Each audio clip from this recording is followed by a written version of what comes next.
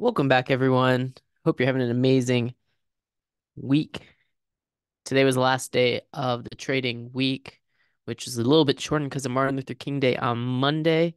And we only got one full week left of trading in the market. And today was a real good one. And something I always like to do on a good trading day is obviously we want to celebrate because we got a lot of green. But let's look at the things that didn't do so well. So I'm looking here, and this really helps me paint a picture. So we have money coming out of some oil, some Coca-Cola, bottling company, and Ingles Market, which is a diversified uh, food market chain in the southeast. They have lots of locations uh, throughout the southern part of the country. Also, Procter and Gamble was down a little bit. Pepsi, the regular Coca-Cola, and Berkshire Hathaway was up a little, a good bit today.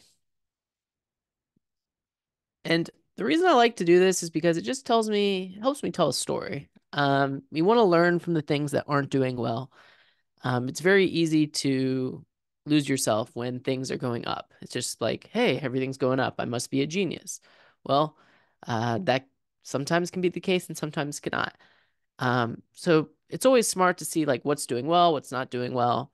And ultimately, I mean, we're entering into what seems like a retrace period, meaning things could pull back, even if they pull back 10, 15%. I mean, everything went up so much last year, it doesn't even really matter.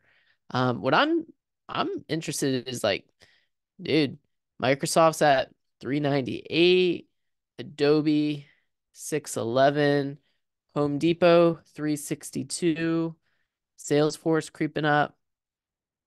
Um, we even have DR Horton reaching new highs.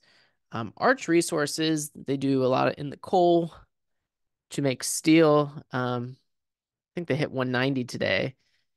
And whatever, it's always tempting to sell.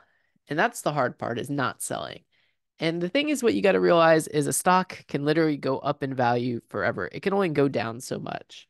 And that's something that Mr. Buffett and Mr. Munger have done a phenomenal job of is just buying and not selling. Um, I know like reviewing Berkshire Hathaway, they owned Coca-Cola um, a long time ago, and Coca-Cola's price to earnings ratio hit like a, it was like 60, 70, or 80, something really stupid for their company.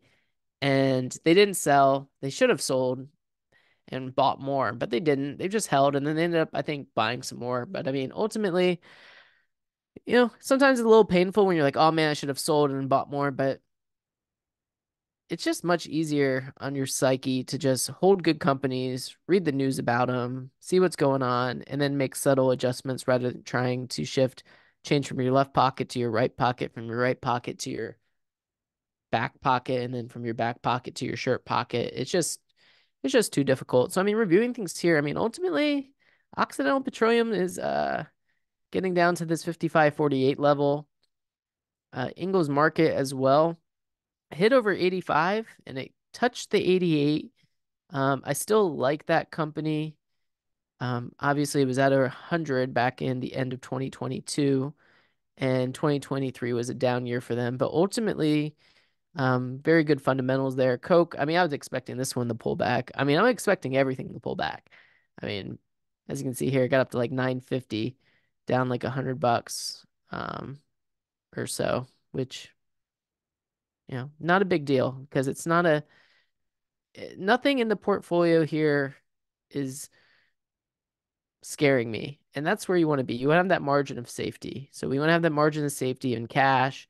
You know, we have CDs, we have treasury bills, uh, things of that nature. Um, and then still watching US Steel here as a little uh, arbitrage opportunity to make a about 10 to 13% if that deal goes through at $55 a share. So not going to get rich off those deals on those arbitrage opportunities. However, if you find one or two of those a year, um, I know last year the big one was Activision Blizzard. We bought it in like the 70s and it got acquired at 95. So that was a nice one. Also, reason we own Microsoft is they made that acquisition.